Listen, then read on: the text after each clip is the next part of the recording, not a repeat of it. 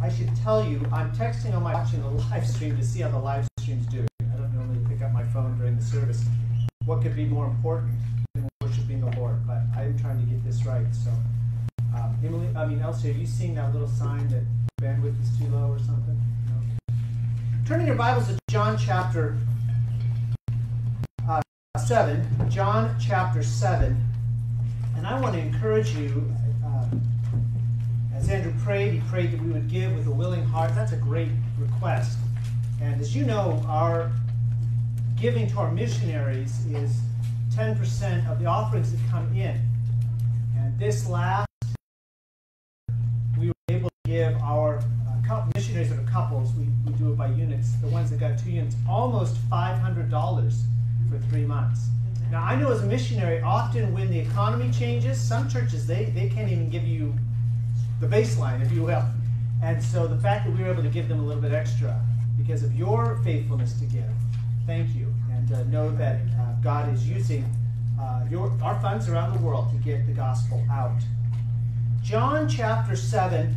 This morning we saw uh, how much we owe Jesus, and I want us to be Christians who are in love with the Savior. God, we love Jesus, we, we love His people, um, and we love the, his creation, the, the, the people that he's created, even the ones that are our enemies. Jesus said to love our enemies and pray for them that persecute you.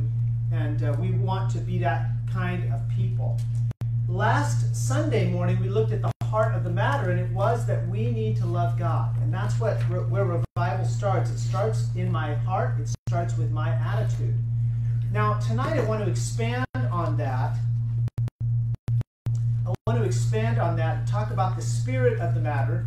And the spirit of the matter is indeed the Holy Spirit.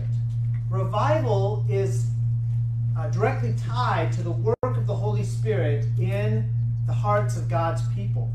The good news is 1 Corinthians 6 and verse 19 says, What? Know ye not that your body is uh, the temple of the Holy Ghost which is in you, which you have of God? So, all of us that are Christians, we have the Holy Spirit. The truth is, we're not all filled with the Holy Spirit. And we know that because in, in Ephesians chapter 5 and verse 18, Paul writes to the believers there at, Ephes- at Ephesus, the Ephesians, and he says, Be filled with the Spirit. So the Spirit dwells in us, but it doesn't always fill us. And uh, we, we want to be Holy Spirit filled Christians. So we're going to we're going to be looking toward chapter seven. I mentioned six questions about revival, and I'm going to ask some of those tonight. And those six questions are as follows. If you're trying to write them down, I'm going to go too quickly through through them to get them this first time, but I'll go through them a second time. You can get them. First question: What is the definition of revival? When a preacher gets up and he says, "We're praying for revival," what is it? That we're praying for? That's the first question. Second question, and similarly, what do we expect to happen when we experience a revival? You know, if we don't know what we're looking for, we're likely to miss it, or we're likely to go after the wrong thing. So, what is it when that we ex- expect to happen when we experience a revival? When I was a, a young man in the 90s, they had a revival in the Toronto area. They called it a laughing revival. And people were literally laughing, falling down on the ground, rolling around, laughing hysterically. And I searched my Bible. I can't find any evidence that that is a sign of revival. Now, I'm glad that they were finding whatever was hilarious. I actually, I'm not, because they were attributing to the Holy Spirit. But the Holy Spirit only does, He only works in certain ways. And, and, uh, we want to be able to identify when it's the Holy Spirit at work. So that's another question I'm going to ask you here in a minute. And when you think of revivals in the past, who are some of the names, the names, the people that come to mind? Fourth question Can you name a revival and a preacher of revival that is not an English speaker? I asked this question because I was starting to go through these names, and all these names are people who speak English. They may, might be from America, might be from Scotland, but they all were English speakers, so I had to challenge myself on that one. Number five, the fifth question, what are the hindrances to revival? And then the sixth question, in other words, why aren't we experiencing revival? I mean, we want it, right? We, as Christians, We desire for there to be revival. So why is it that we don't experience it more often? What are the hindrances? And then number six, why do you want revival? Now let's go back to each of those, and I'm going to give you a chance to respond. So put your thinking caps on, fire them up, and let's look at that first question. What is a definition of revival? What is revival? And if you say something that's completely off the wall, I'll just turn around and I'll laugh without looking at you, okay? But uh, seriously, I don't think that'll happen tonight. I, I will correct you if you say something completely off the wall, but uh, don't hesitate to take some guesses, is what I'm saying. Shot in the dark, right? Yes? Well, revival is a derivative of the word to generate, people back. do something. Exactly. To, to revive, to regenerate, to bring people back to life. That's, that's why we call it revival. So, what is it that we are reviving? Not our physical lives, because I'm alive, feel pretty strong. Sometimes I wish I could take a shot of uh, energy from these little kids, like Stephen or Caleb uh, uh, uh, uh Marfield. They just have all this energy. I mean, they just, it's 90 degrees out there and they're running around. Wish I could drain off some of their energy and shoot it in my arm. Um, but seriously, that's not, it's not the physical life that's revived, is it? That's revived. Anyway, spiritual, spiritual life, right? Think about when you were first saved. I can think back as a little boy when I was first saved. I really, really wanted to please God. I had this, it seems now, in retrospect, it seems like a hyper sensitivity to sin. Things that, boy, I shouldn't do that. That I'd always done before. And periodically through my life, as, as I've experienced um, a personal renewal, you know, God starts to put his finger on things, and I say, okay, you're right, Lord, I'm going to give that up. And then he put, okay, I'll give that up. Okay, yeah, and, you need to do this. Okay, I'll do that. What we're looking for in revival is that renewal of the same life that we had when we were first saved. Now, if you don't remember what it was like to first be saved, well, that's that's going to be hard for you. But that's what we're looking for in renewal. Number two. So, what are going to be some of the evidences, the indications of revival? If if someone were to come in and they just sort of scan the crowd here, obviously they're not going to see necessarily in five minutes. But let's imagine they scanned the crowd here. They followed us around for a week. They did a little documentary and we were experiencing revival, what are some of the, the outward manifestations? Now remember, revival's in the heart. But what would be some of the outward manifestations that they might see? Just give me one at a time. Yes? We would show more love to those around us. Yeah, there would be a greater sense of love for others. Yeah, excellent. What, what's another? That's a good one. What's another? Yes, WT. Meekness. Yeah, there'd be a spirit of humility and meekness. There, we easily yield our pride. We wouldn't fight with each other over the things that were not scriptural. Be necessarily um, towards you, you'd be able to respond with that meek spirit because the Holy Spirit would be directing you and giving you grace for that. Excellent. What's another one? Joy. Joy. Now, I want you to think about the first three things we mentioned love, meekness, and joy where do you see those coming from? Fruit the, the fruit of the Spirit. Because when the Holy Spirit fills us, that's the natural expression love, joy, peace, uh, goodness, gentleness, meekness, faith, temperance. That's just the natural expression of the Holy Spirit filling you. You don't have to work it up. You see, the wrong way to approach revival, and sometimes we've approached, approached revival this way. We say, okay, we need to be more loving. Okay, okay, good. And so we go out and think, okay, how can I be more loving? That's it's backwards. We need to be filled with the Spirit, and then we will be more loving. We need to be filled with the Spirit, then we will have that spirit of meekness that yields our rights, that humbles ourselves before God and sometimes before man. We'll have that uh, that joy that we ought to have. We'll have that temperance. So, yeah, excellent. There's a couple other things, but we're going to hit some of these as we go. One of the one of the key indicators you're going to see in revival is a boldness to give the gospel to others. Because again, when the Holy Spirit's filling me, I am bold to give others the gospel. Now, I don't know about you, but when I'm walking in the flesh, I really find it hard to share the gospel with people. Because this hindrance comes up, they're not going to believe you. You don't know them very well, and you know, obviously they're not Christians, otherwise you would be sharing the gospel. Why are you giving it to them? That's the flesh talking to me. When I'm filled with the Spirit, it's natural to look for those opportunities to talk about Jesus Christ and how they can have their sins forgiven and spend eternity with God. Okay, so that's another one that is really important. There's actually another. Ah, okay, let me give you one more. Prayer. There's renewed purpose in prayer. I would guess the average.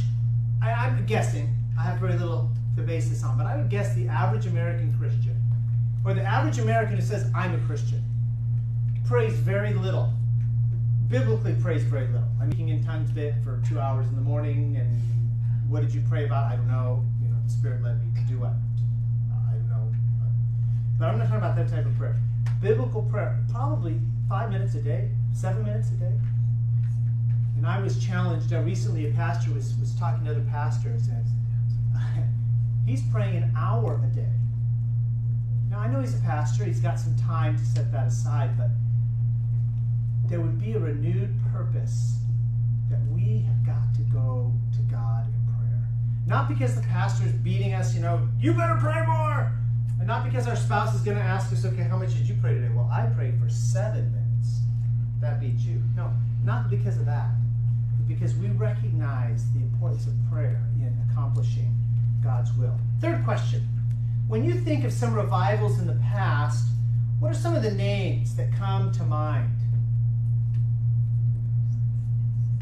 Yes. Jonathan Edwards. Jonathan Edwards. Boy, I'm glad you got that one. The first Great Awakening. In fact, Americans, we pull this word revival from his book. He wrote a book, and I wrote the name down because I would remember. There it is. No, there it is. Some thoughts concerning the present revival of religion in New England. He wrote it in 1742 and uh, was documenting what we call now the first Great Awakening in the United States. So, yeah, Jonathan Edwards. Yes. Billy Sunday. Billy Sunday. Yeah, Billy Sunday. What's another name we think of? George Whitefield. George Whitefield, who also he served in England. He preached in England. He also preached in the United States in Jonathan Edwards Church. Jonathan Edwards and he were, were friends. They knew each other personally, and uh, so he was part of the revival that was going on in England. Who else was involved in that revival in England in addition to George Whitefield? Anyone remember? Two boys. Wesley's, John and Charles Wesley. Which reminds me, often in revival, you'll see a new spirit of singing. And Charles Wesley uh, illustrates that. For those of you that, uh, since high school, England was headed for problems. Um, there's a series of paintings, of drawings, and etchings by a man whose name is Hogarth. I think his first name is William, but his last name is Hogarth illustrating how wicked, how wicked English society had become. People just drinking alcoholic beverages all day and indulging in all kinds of wickedness because of that. And, and uh, the, the, the progress of a, of a young lady who leaves her home in the country, comes to the city to find success and ends up in the gutter. Progress of a young man who leaves his city, uh, his place in the countryside, comes to the city, ends up in the gutter. And he was mocking, he was a satirist, he didn't care about these people, just mocking how badly Englishmen were behaving. And yet, after the Wesleys, after George Whitefield, after that revival of religion in England, there was a new spirit of missionary sending in the late 1700s. And out of that comes uh, William Carey and, and uh, others. So, again, the revival there, some people credit that revival in England by the Wesleys not by the Wesleys, by the Holy Spirit, but the Wesleys being a primary driver in that, they credit that revival with England's ability to avoid what happened in the French Revolution. In the French Revolution, you have these people rising up, throwing off their masters, which isn't necessarily a bad thing, and then in, in, engaging in a reign of terror. That's the literal name for what we call it, until it was ended by a dictator, Napoleon. And uh, I'll, I'll be frank, one of the reasons I'm not the main reason, but one of the reasons I'm burdened that's what will happen in the United States.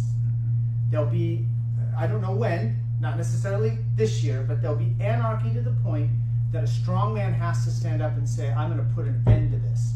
But he's going to have to be a dictator to do it. And uh, I was with Ken Lynch. I, I might have mentioned this to you. I was with Ken Lynch. He, his uh, relative, we had gone to see his relative down in uh, somewhere on the East Bay. And uh, she uh, was a little girl and was born in, in um, Nazi Germany, immigrated after World War II. She said that's just what happened that allowed Hitler to come to power in Germany.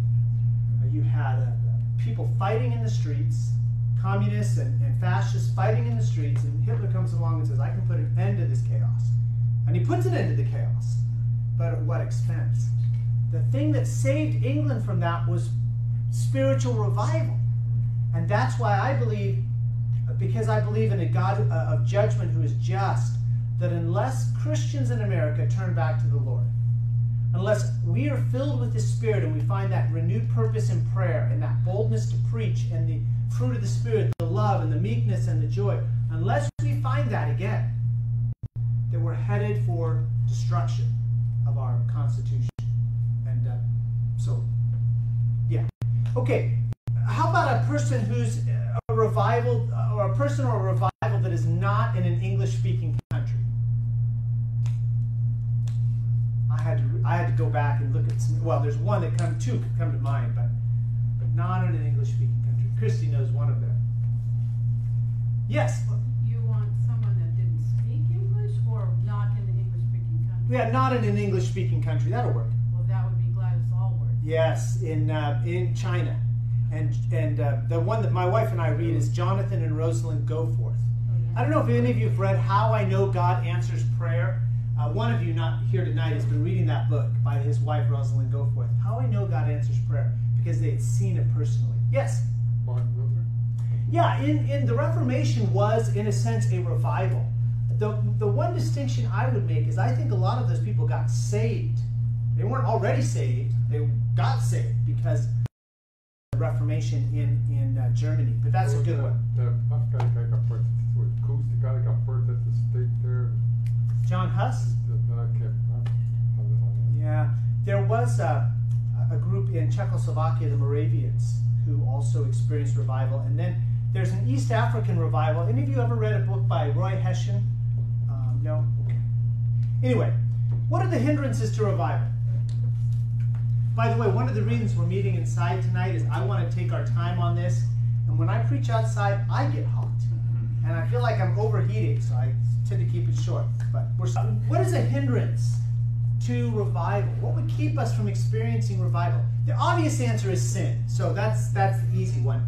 When I was a boy uh, and we did family devotions, uh, I have two younger brothers, and my brother Robert's about four years younger than I was, and I was in uh, first and second grade, so I was six and seven. He would have been two and three years old. And every time my dad asked him a question about the devotional, you know, what happened, Robert, my brother would say, God. It was a pretty good guess. Uh, and so, uh, similarly, sometimes what is a hindrance about sin? Yeah, that's true. So, God, let's get that one out of the way. Let's be a little more specific than that. WT. Pride. Pride. That's the top one on my list. Pride. And frankly, what what pride will most likely look like in my life when I don't experience revival is when I say, I don't really need the Holy Spirit right now. I'm, I'm doing pretty good.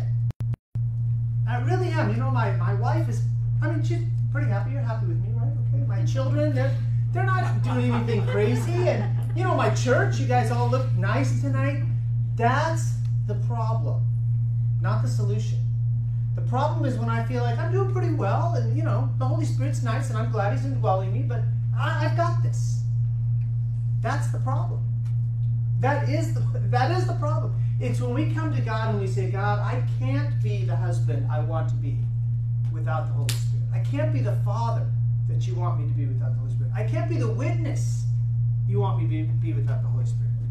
And in my case, I can't be the pastor you want me to be without the Holy Spirit. That opens the doors to.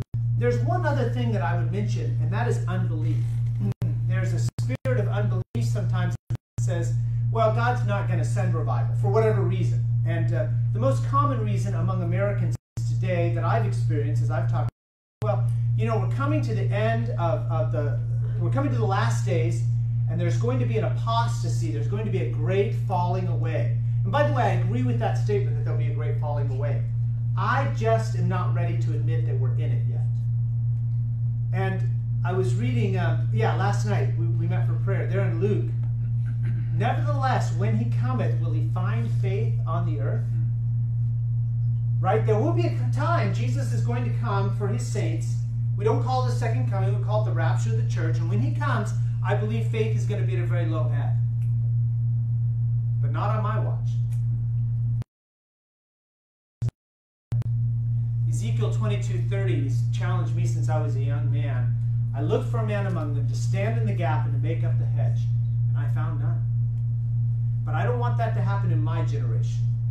So I know God the Father knows when His Son is coming for His church. I'm going to leave that in His hands. While I'm here, I'm going to work my best to continue to be Holy Spirit filled and to encourage all of you to be Holy Spirit filled. Diane. Amen. Could another um, hindrance, and I'm thinking specifically right now of America, but it may have been the case in England that the fear because there's so much sin and so much open rejection of Christianity, Christ, the Bible, everything right now.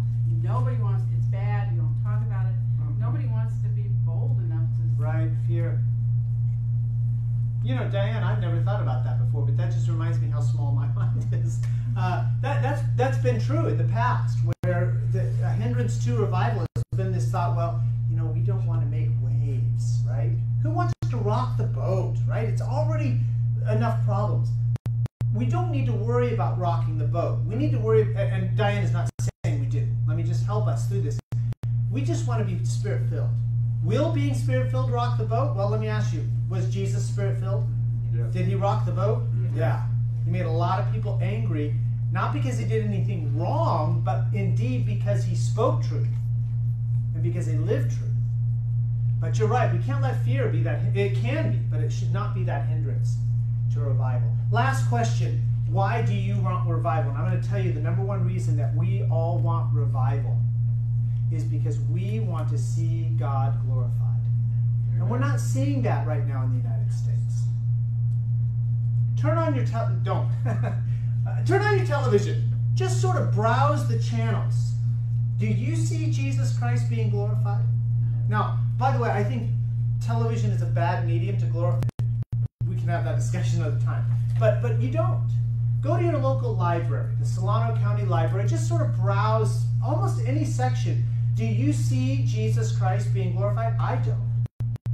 Do you realize that in previous revivals, not so much the first Great Awakening, but in the second Great Awakening that happened in the uh, 1850s, they were actually printing the sermons of the evangelists in local newspapers?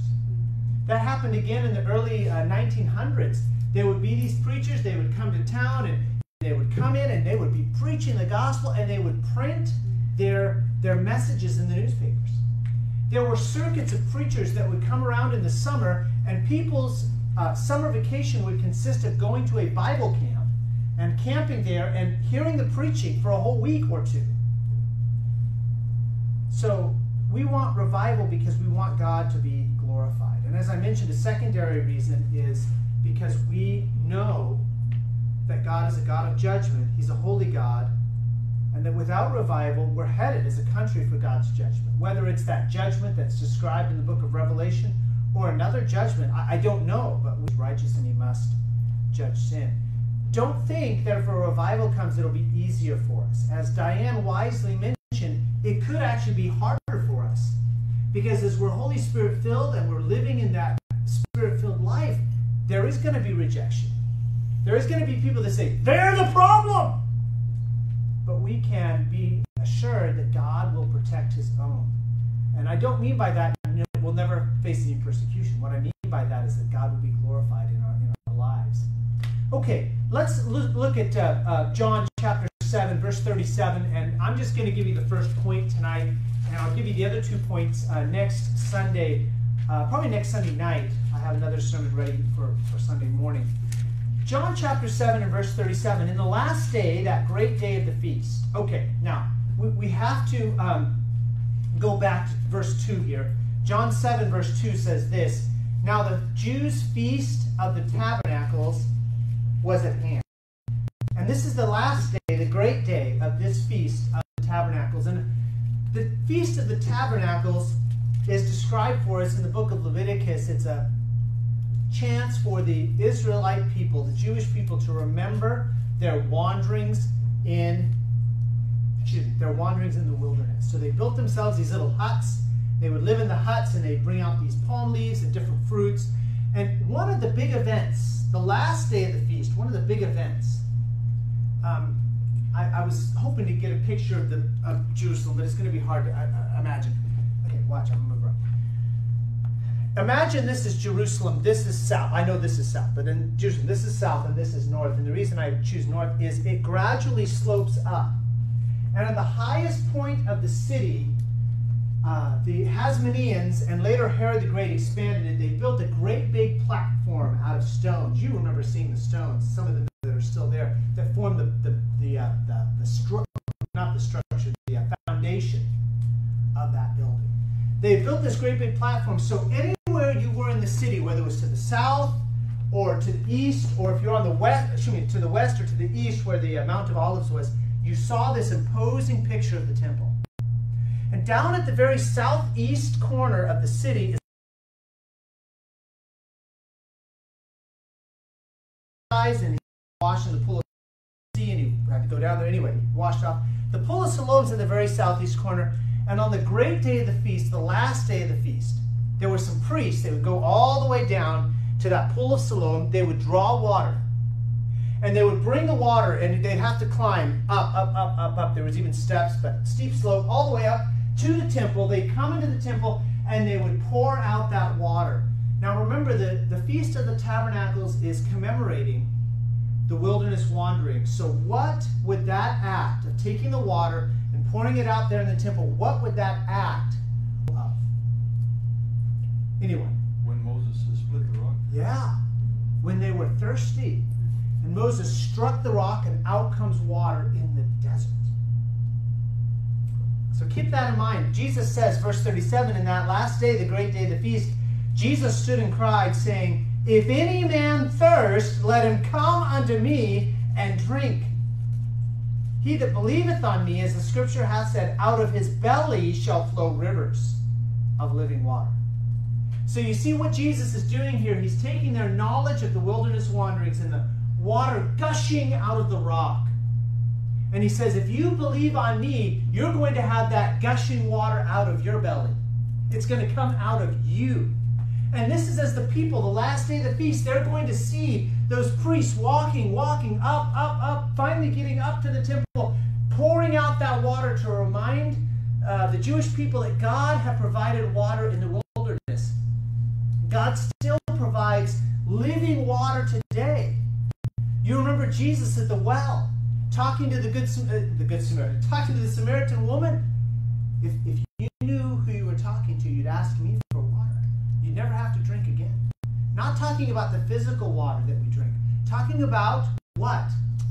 The Holy Spirit. How do I know it's the Spirit? Because look at verse 39 with me. But this he spake of the Spirit, which they that believe on him should receive, for the Holy Spirit was not yet given, because that Jesus was not yet glorified. Now, when was that Holy Spirit given in a marked and a remarkable way? Anyone? Pentecost. Pentecost. Yes. 50 days after his resurrection.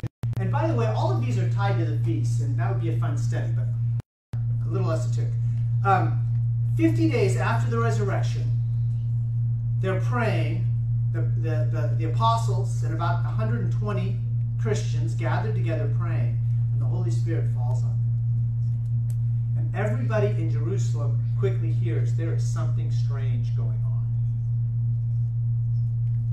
You see, Acts, the reason it's so hard for us to live out the book of Acts is because we don't allow the Holy Spirit to flow through us as those early Christians allowed the Holy Spirit to flow through them. Jesus said, Out of his belly shall come rivers of living water. Not droplets, not a thin stream, not just a, rivers of living water. And he's speaking of the Spirit. So, number one, ready? We're 30 minutes into the sermon. First point crave. He says, If any man thirst, do you crave, I'm serious, do you crave the Holy Spirit? Now, one of the problems we have in understanding this passage is it's probably been a long time, maybe never, since you were truly thirsty. Probably the closest person would be Logan over here. I don't know, maybe they. Did you do your basic during the summer in Lackland? Okay, so you might know thirst. But the rest of us, the last time we were thirsty, we went over to the sink in our house or we went to the refrigerator, we turn on the, the faucet and drinkable water comes out. Or we go to the refrigerator and we take the cap off of a, off of a bottle of water and we drink it and we have water. Today I got done preaching. Doyle looks at me. He says, Do you need water? I thought, Yeah, I need water. So he goes over to the cooler, he pulls out what, and he hands me, and I had water immediately.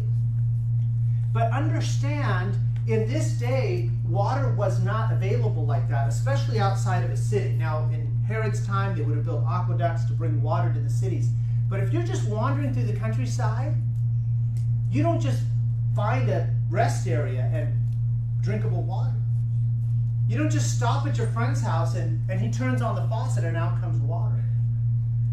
I was reminded of this when we were traveling through the countryside in Mongolia, and traveling through the Mongolian countryside is, is really like going back in time.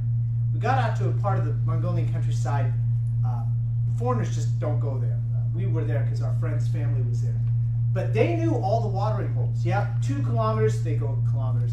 Two kilometers from here, there's water, but it's sort of salty. And so we like to go five kilometers over here because there's the better water. Or Three kilometers over there, there's water in May, June, and July as the snow melts. They knew all this. Why? If you don't know where the water is, you will thirst and die. That's the type of society where they struck the rock and water gushes out. That's the power of God, the arm of the Lord revealed as we talked this morning. And Jesus says, listen, if any man thirst,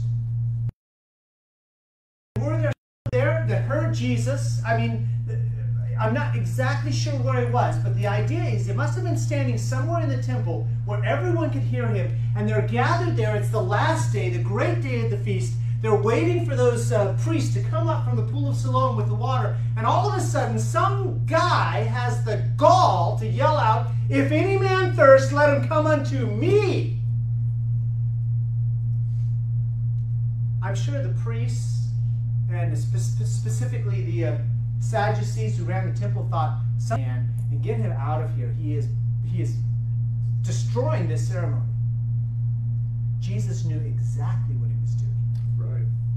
But I'm telling you, there were a lot of people in the temple that day. They heard that cry, If any man thirst, let him come unto me. And they thought, Who is this madman crying out? Why? Because they weren't thirsty, were they? Now I'm asking you tonight, are you thirsty for the Holy Spirit? Because frankly, a lot of times as Christians, we're not. Like I said, the WT mentioned pride. We sort of figure, hey, I'm doing pretty good. I'm a good father. I'm a good husband. I'm a good pastor. I mean, I'm a good guy. I mean, I go out and I knock doors now and then and I share the gospel this week. What more can I do? Well, Jesus doesn't say, if any man thirst, let him come into me, and I'll give him a bunch of actions to do. Right? We can say, well, I don't dance, and I don't go to movie theaters. By the way, if, I won't go down that road. I don't go to movie theaters, and I don't play cards, and uh, and I don't smoke, and, and so then I'm, I'm pretty good. No, Jesus isn't saying if any man is in a really bad state of sin. He says, if any man thirst, let him come unto me. and I tell you, we are walking through a spiritual desert every day. And without that water that gushes out of that stream that, that, that God the Father sends to us, there isn't water out there. And I, I know some of you have asked me, oh boy, it's you know, we've got this pandemic and all these different things going on, and how do you in fact someone told me this week, I, I, I really think you're an optimist. I said, no, I'm not an optimist. When I walk in the flesh, I'm a pessimist. I'm sure that those things are going to blow down this week, and Jesse's going to spend all that time in vain, and it's going to be 100 next week, and people aren't going to come. I can tell you all the bad things that'll happen. So, where do I find that joy, that meekness? that love for people. Because out of the belly of the man who believes that Jesus will flow rivers of water. Amen. You need the Holy Spirit. I need the Holy Spirit. And it doesn't come by just walking through life, it doesn't come unless we want it. Jesus said, If any man thirsts. So, why is it that we're not more thirsty? I've asked myself this question because, frankly, I, I do. I tend to live without seeing the power of the Holy Spirit in a vibrant way in my life. So why isn't that I why is it that I don't see more of the Spirit? Well, one reason is we're not thirsty. And we're not thirsty because frankly it's easier to live in the flesh than it is to live in the spirit. We want to know the dichotomy clearly, and we won't teach I won't teach this tonight. I've taught it before, I'll teach it again, I'm sure. Again. Romans chapter 8. There is therefore now no condemnation to them which walk not after. Um, uh, and I won't quote the whole passage, but here's here's Paul's point. You can either live in the flesh or you can live in the spirit. And frankly, the truth is it's easier to live in the flesh. That's what feels natural, what feels normal. Because when I was born, when I was born, I was living in the flesh, wasn't I? My parents didn't have to teach me how to lie and how to fight with my brothers and how to curse people. I mean, learned that on my own. That was that's what's natural. That's why we talk about man is fallen and we're we're, we're sinful. Uh, uh, David says, "In sin, my mother conceived me." He's not talking about the act of his mother. He's talking about when I was conceived, I already had sin. It's natural to walk in the flesh. When you go home tonight, the natural thing to do will be to live in the flesh. We have to want the Spirit to fill us in order to be filled with the Spirit.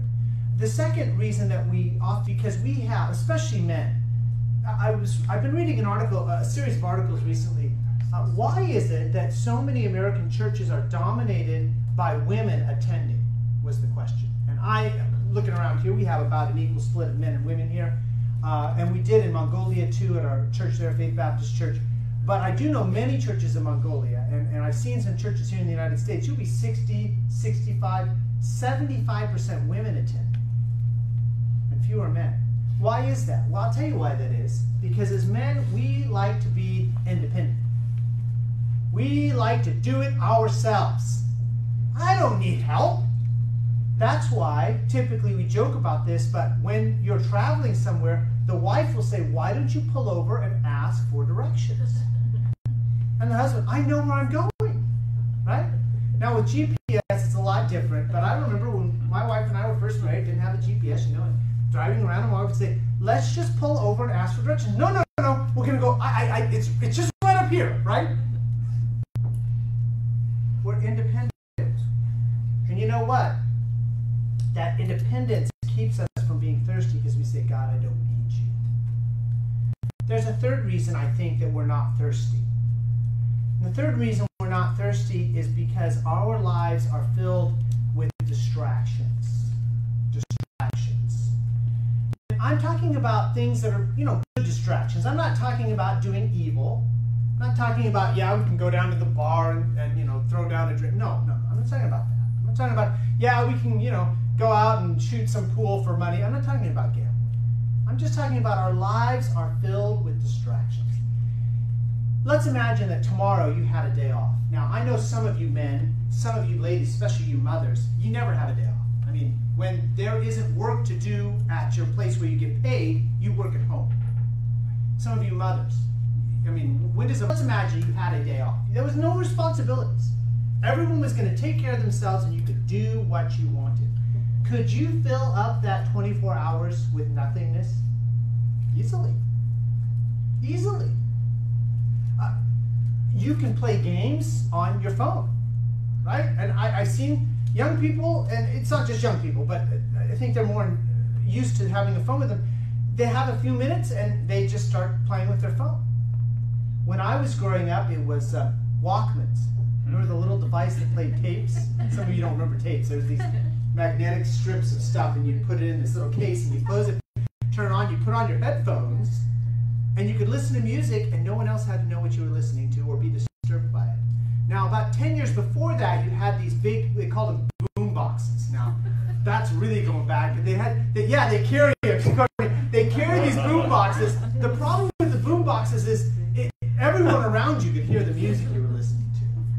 But here's my point: you can be distracted all day by music, by games, by videos, by uh, you, you name it. You can find it. And we're not craving the Holy Spirit. We're not thirsty for the Holy Spirit because we're distracted. Some of us are not craving the Holy Spirit because we're disturbed by the storms of life. Uh, we're just, we're bothered. I, someone was re- recently telling me uh, they were visiting, not anyone here at the church, they were visiting uh, someone, they watched the news for three or four hours a night, they said. Wow. Listen, don't, don't do that. Please. Yeah, that is going to mess your mind.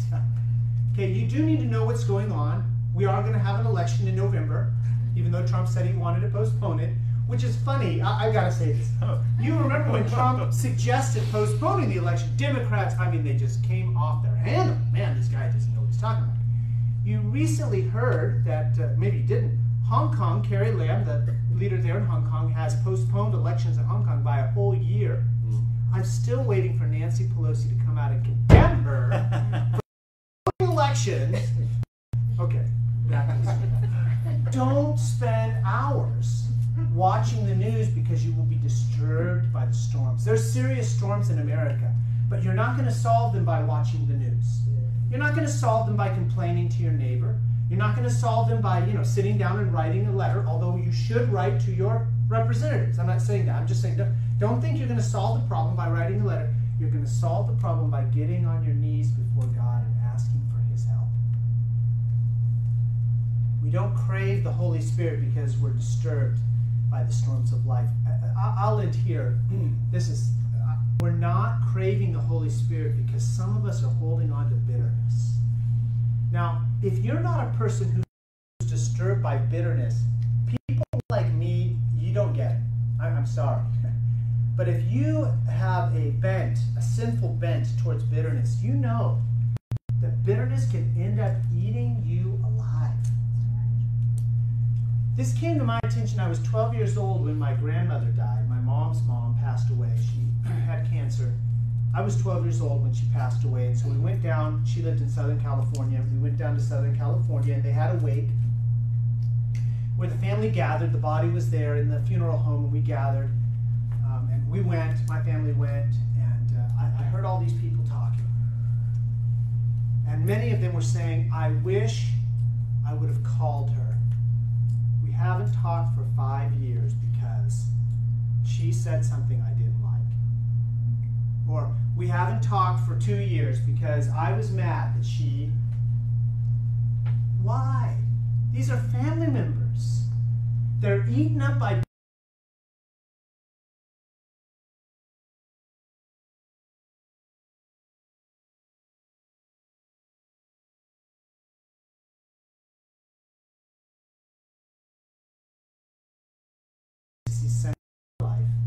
so we say, fine, I just I will just won't talk to God. I mean, you're not going to lose your salvation. Don't misunderstand me. You're still going to get to heaven. If that you know that's important, but you're going to miss out on the Holy Spirit flowing out of you like rivers of living water because you just you're not going to talk to God. I have a friend, again, not here, but a friend. He, he's decided he doesn't want to talk to God. He's bitter. And I, I confronted him. I said, You're bitter. Yeah, but people are so stupid. Yeah, I am too. Other people keep you from talking to God. I mean, when are people going to get smart? Not this side of eternity. Don't allow bitterness to quench your thirst. It's like getting to the river. I mean, you walk through a desert, you find the river, there's plenty of cool water flowing by. It's clean. You're not going to get any disease from it. And you say, I'm not going to drink it because I'm mad at God. I'm sorry. You're not helping yourself. You're not helping God. You just you're you're you're you're drying up spiritually. And, and I met Christians. I have no doubt that their sins are forgiven and, and that they have eternal life. They're Christians, best I can tell. But they're dried up spiritually. Don't be that type of Christian. Look at verse 37 again. In the last day, that great day of the feast, Jesus stood and cried, saying, If any man thirst. Are you craving the Holy Spirit tonight? Do you thirst for those rivers of living water to flow through you? Do you want that love and that meekness and that joy? Do you want temperance in your life? Do you want your faith to grow? Do you want to be good, just goodness to people, to really truly love your enemies? You're going to need the Holy Spirit. So do you decide, do you crave the Holy Spirit? Because if you don't thirst, you don't go to Jesus. We're going to talk about that next week. How do we get to Jesus when we're thirsty? But I'm afraid as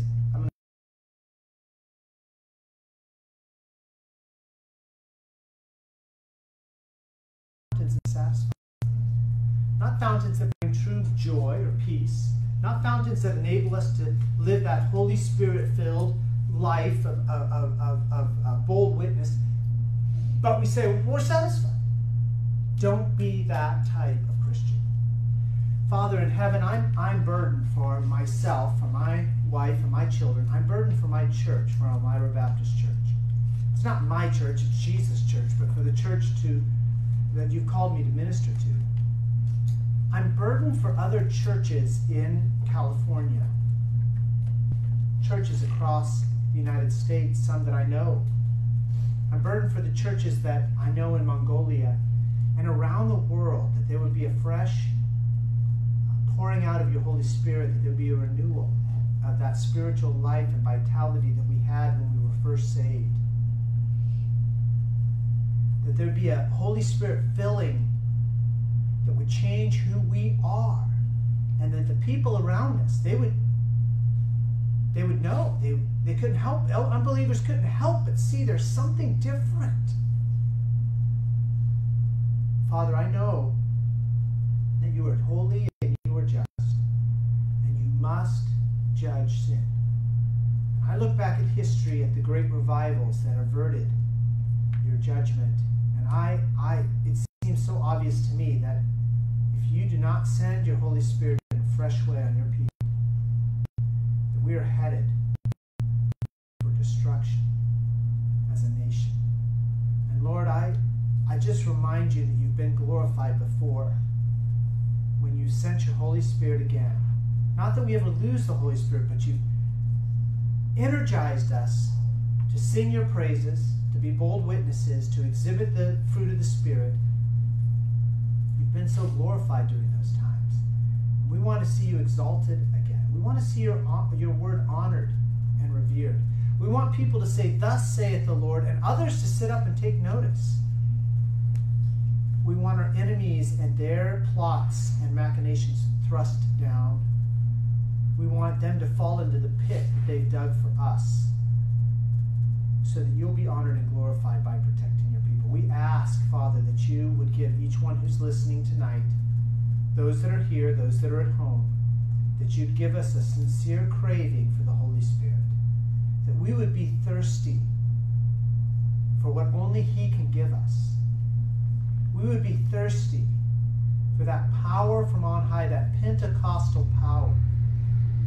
That we would be thirsty once again to see your Holy Spirit poured out, people change, their lives change, atheists come to Jesus, drunkards come to Jesus, the wicked come to Jesus.